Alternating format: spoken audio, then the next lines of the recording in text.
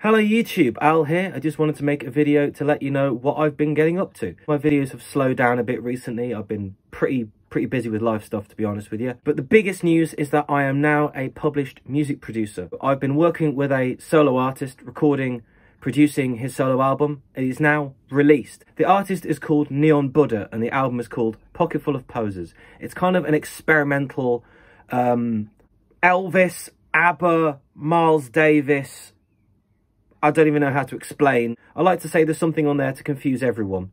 I've also been filming music videos for the album, so if you just type Neon Buddha into YouTube, they'll come right up. It's a damn fine album, and I'm really fucking proud of it. The link to that is down in the description. Spotify, it's on Apple Music, it's on Deezer, all good streaming platforms. So the link is down in the description, and please give it a listen. Thanks, and I'll see you soon.